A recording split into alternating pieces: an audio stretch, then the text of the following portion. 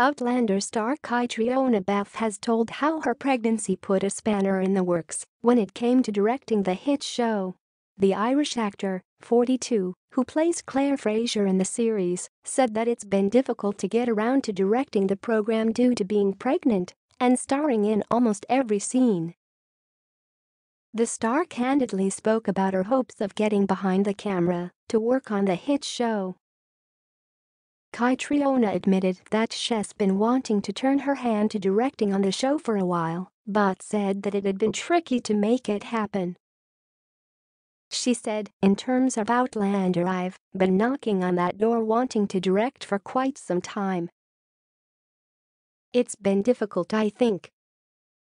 The star went on to elaborate on why it has so far proven to be complicated to organize Caitriona explained, I was hoping I'd maybe get to do some extra scenes last season, but with the pandemic, and being pregnant, and being in almost every scene again put a spanner in the works in terms of that. She went on to add that the chances of her getting to direct the show were slim, admitting that she was disappointed that she won't get to do more work behind the camera this season.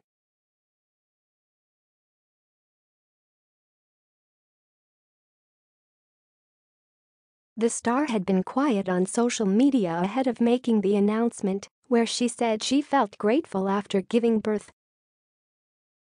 Alongside a snap of her newborn with his hand wrapped around her finger, she said, We are so grateful for this little soul that he chose us as his parents.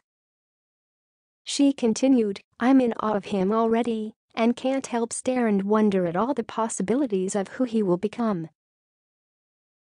where he will go, and what he'll do on the big adventure of his life. Caitriona added, Right now he seems so small and fragile and I constantly think how grateful I am that I live in a place, in a time where he is born into peace and safety, and yet at the same time I see so many in the world right now that aren't afforded that same privilege and opportunity who are born into famine or war, and how unjust it is that the same safety isn't there for all children. Ending her adorable announcement, she penned, Here in the West we have so much, we are so lucky, and so if you'd like to join me in supporting any of the wonderful charities that need help trying to give those that are forgotten dignity and hope,